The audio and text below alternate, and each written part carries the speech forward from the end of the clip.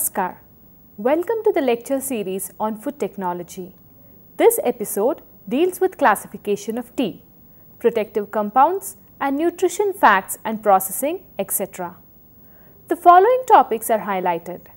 Introduction, classification of tea, methods of tea production, preservation of tea and the protective compounds and nutrition facts in tea. Coming to the introduction. Tea is one of the most popular and lowest cost beverages in the world next only to water. Tea is consumed by a wide range of age groups in all levels of society as well as one of the healthiest. Since tea was first discovered in China, it has traveled the world conquering the thirst of virtually every country on the planet. The discovery of tea occurred in 2737 BC by the Emperor of China. For many years, people drank tea because of its herbal medicinal qualities. During the time of the Western Zhou dynasty, tea was used as a religious offering.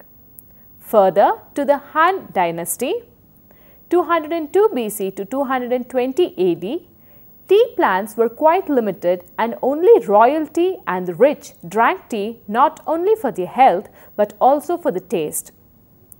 In the period of Tang dynasty, that is between 618 to 907, drinking of tea became more common among lower classes and spread to Japan by Japanese priests studying in China. Similar to the Chinese adoption of tea, Tea was first consumed by priests and rich for its medicinal properties. The Emperor of Japan enjoyed tea very much and imported tea seeds from China to be planted in Japan, making tea available to more people. Tea is often associated with Zen Buddhism in Japan because priests drank tea to stay awake and meditate. Soon, the Buddhists developed the Japanese tea ceremony for sharing tea in a sacred spiritual manner. During the 17th century, tea was imported to Britain via the East India Company. In the aristocratic society, tea was used in the parties and soon it became a common way for to drink tea. Due to heavy import of tea by Britain, the taxes were so high that smugglers would get and sell tea illegally for those that could not afford it. In attempts to turn profits during the tea smuggling period, the East India Company began exporting the tea to America. The American tea was also taxed heavily and contributed to the cause of the Boston tea. Finally, tea arrived in India and plantation was started in 1823 when wild tea plants were discovered by the British in the forest of Assam. Now, India is the second largest tea producing country in the world. The world's largest tea plantation is found on the foothill regions of the eastern Himalayas and the Brahmaputra Valley. Classification of tea Tea is traditionally classified based on the degree or period of fermentation that leaves have undergone. The different types of tea are given below. Green tea, yellow and fermented tea, oolong and white tea, black tea, other types. Firstly coming to green tea. The ancient Chinese society, now southern China, first encountered the tea plant and processed it as another medicinal herb for use in Chinese herbology. The technique used for processing the fresh tea leaves was to immediately steam the fresh tea leaves and dry them for preservation, which is likely the most ancient Chinese form of tea leaf processing. This processing method was perfected near the end of the Han dynasty that is 202 BC to 220 AD and produced a dried tea that would be classified today as green tea and quite similar to modern Japanese sencha. This type of tea has undergone the least amount of oxidation. The oxidation process is halted by the quick application of heat after tea picking, either with steam, the Japanese method, or by dry cooking in hot pans, which is the traditional Chinese method. The tea is processed within 1 to 2 days of harvesting. Next is the yellow and fermented tea. This use of steam in fixation for tea leaf enzymes is an important step in processing tea with the leaves to be quickly cooled down and undergo further processing.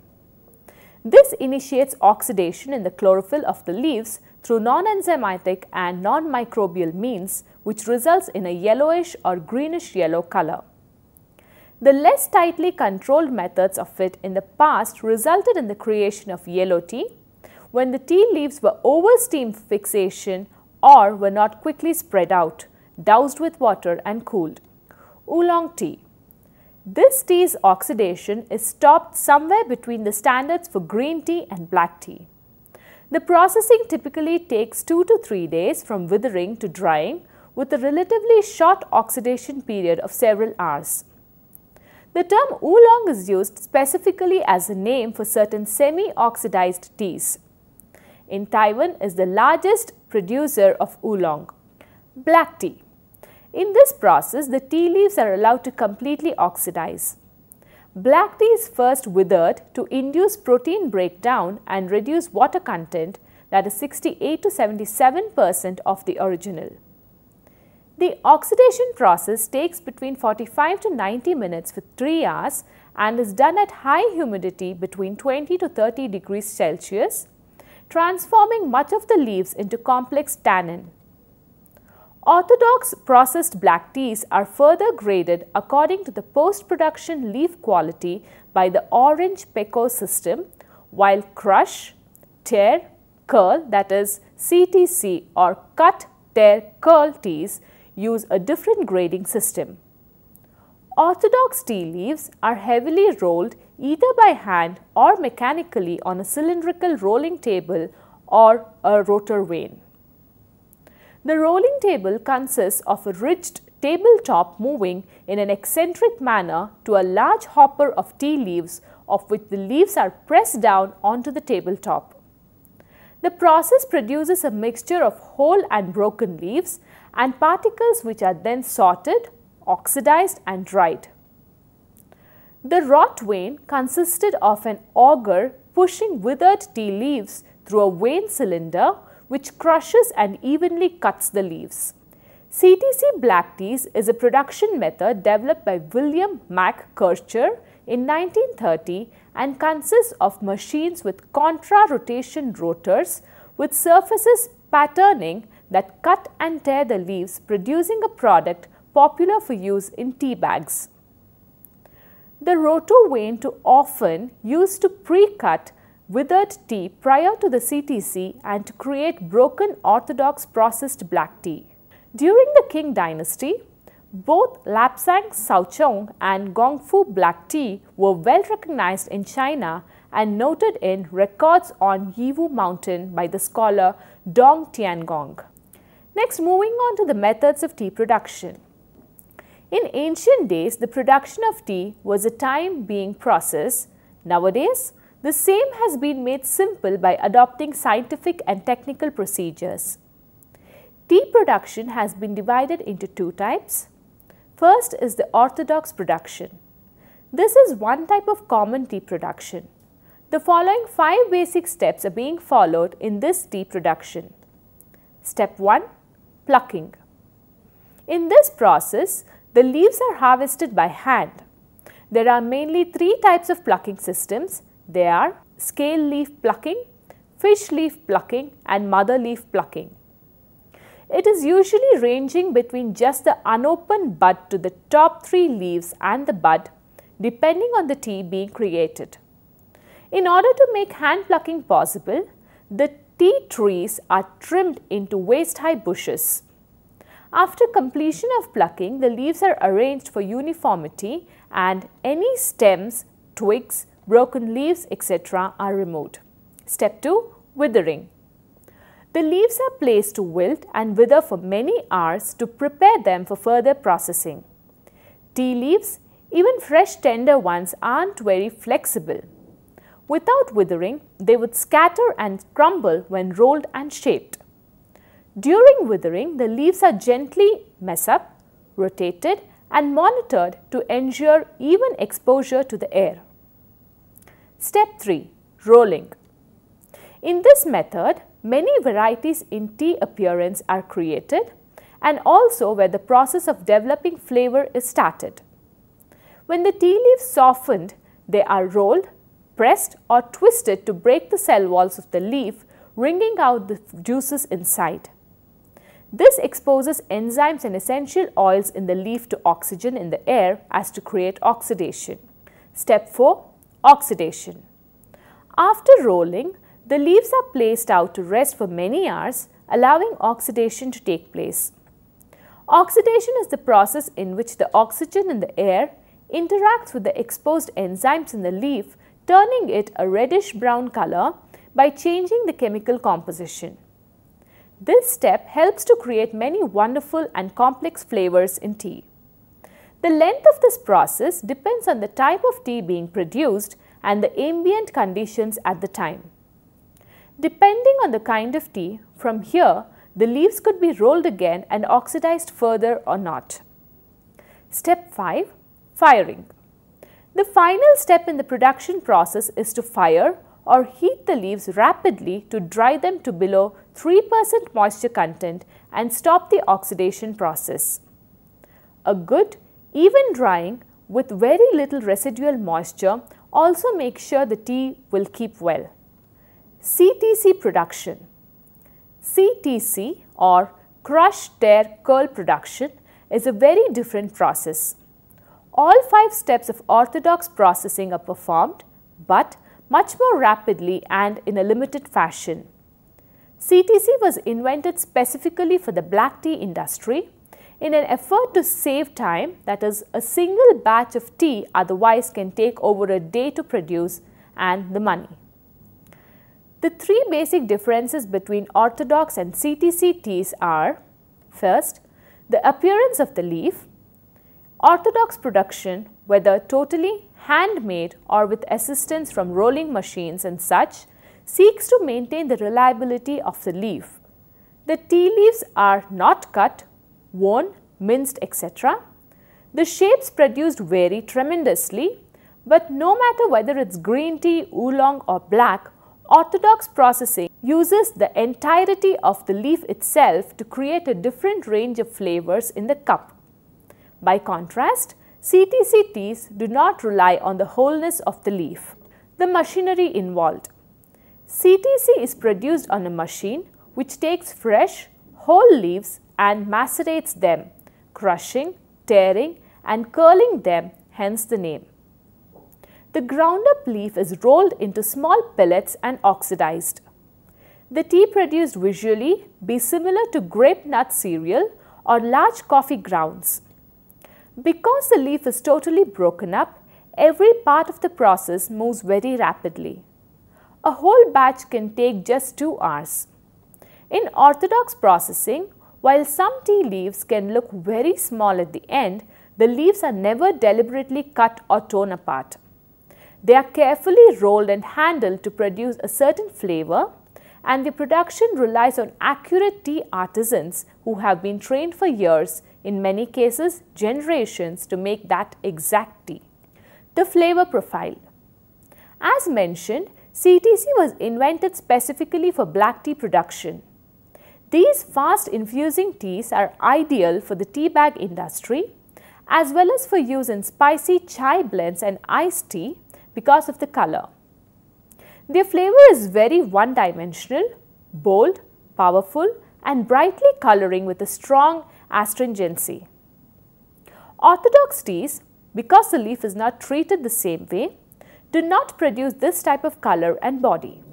However, CTC cannot produce the tremendous range of flavor and aroma which orthodox teas are loved for. The CTC method can't be used to make white teas, oolongs, etc. The shredded leaf oxidizes too quickly. There are a few CTC green teas but this is accomplished by steaming the leaves to prevent oxidation. That's about as elaborate as it gets. Secondly, because orthodox production requires so much time, the tea maker is able to draw out and develop very fine distinction flavors. Everything done to the leaf will alter the flavor of the tea. Preservation of tea. The proper storage of tea is one of the utmost importance as tea which is improperly stored will go stale or rancid much faster or can collect impurities that both alter the flavor and aroma and can also harm the body. Therefore, it is very important to learn how to properly store your teas so that they remain as fresh, clean and flavorful as possible. There are five things which teas are vulnerable to that is light, air, heat, odors and moisture. These five things will rapidly make your stored teas go bad. Protective compounds and nutrition facts in tea. Polyphenols including flavonoids are naturally occurring plant chemicals known as phytochemicals that are found in tea and have strong antioxidant properties. Antioxidants are agents that protect cells against damage caused by free radicals and reduce the damage caused by low density lipoprotein that is LDL or bad cholesterol in the blood. Tea contains a particular variety of polyphenols known as catechins. Catechins are considered to have properties that protect or act against cancer, that is anti-carcinogenic, against tumors which is anti-tumorogenic and unwanted genetic changes that is anti-mutagenic. Coming to the nutrition facts and the amount per 100 grams. Calorie 1, total fat content 0 gram, saturated fat 0 gram, polyunsaturated fat 0 grams, monounsaturated fat 0 gram, cholesterol 0 gram, sodium 4 milligram, potassium 18 milligram, total carbohydrate 0.2 grams, dietary fiber 0 gram, sugar 0 gram, protein 0.1 gram, caffeine 11 milligrams. Loose tea. The tea leaves are packaged loosely in a canister, paper bag or other container such as a tea chest. Some whole teas called gunpowder tea leaves which resist crumbling are sometimes vacuum packed for freshness in aluminized packaging for storage and retail. The loose tea must be individually measured for use, allowing for flexibility and flavor control at the expense of convenience. Strainers, tea pressers, filtered teapots and infusion bags prevent loose leaves from floating in the tea and overbrewing. A traditional method uses a three-piece lidded teacup called a gaiwan, the lid of which is tilted to decant the tea into a different cup for consumption major contribution of tea in the world. The graph shows the production of tea from 2006 to 2014 by major producing countries. China produced approximately 1.9 million metric tons of tea in 2012, up from about 1.02 billion metric tons in 2006. Caffeine is a central nervous system that is CNS stimulant of the methylxanthine class of psychoactive drugs. It is found in the seeds, nuts or leaves of a number of plants native to South America and East Asia. The most well-known source of caffeine is the seed commonly incorrectly referred to as the bean of coffee plants. Beverages containing caffeine are ingested to relieve or prevent drowsiness and to increase one's energy level. These beverages are very popular in North America. 90% of adults consume caffeine daily. Caffeine is classified by the FDA as GRAS. Toxic doses over 10 grams per day for an adult are much higher than typical dose of under 500 milligrams per day. A cup of coffee contains 80 to 175 milligram of caffeine depending on what bean that is the seed which is used and how it is prepared. Thus, it requires roughly 50 to 100 ordinary cups of coffee to reach a lethal dose. However, pure powdered caffeine which is available as a dietary supplement can be lethal in tablespoon sized amounts. There are several known mechanisms of action to explain the effects of caffeine. The most prominent is to reversibly block the action of adenosine on its receptor, which blocks the onset of drowsiness induced by adenosine. Caffeine also stimulates certain portions of the autonomic nervous system. Caffeine, INN. Caffeine is used in bronchopulmonary dysplasia, in premature infants for both prevention and treatment. It may improve weight gain during therapy and reduce the incidence of cerebral palsy as well as reduce language and cognitive delay. On the other hand, subtle long-term side effects are possible. Finally, coming to the conclusion. The word tea, normally people think it is a kind of beverage drunk by elderly or perhaps it may be a source of inspiration to those poets as well. It is a helpful drink for our digestion after meals apart from tastiness of the tea food. It is also used to clear away the grease in meat and get away the fishy smell of the seafood too with its unique fragrance. Tea may reduce some cancer and risk of heart diseases, but the research is not conclusive. The protective agent in tea seems to be a group of polyphenols and known as catechins. White tea, green tea, black tea and oolong tea are all contain catechins. The process in tea manufacture is to minimize the transformation occurring in processing procedure so as to preserve and the positive substances possible while destroying negative substances and producing catechin rich tea. The composition of tea contents such as caffeine, theobromine, theophylline, catechins, essential oils, aldehydes, various vitamins are found to be rare and valuable compounds and makes it a nutritionally valuable product. In developing countries, tea production is helpful for farmers to move out of poverty and transform their operations into viable businesses, reduce the environmental impact and stimulate local economies. Thank you.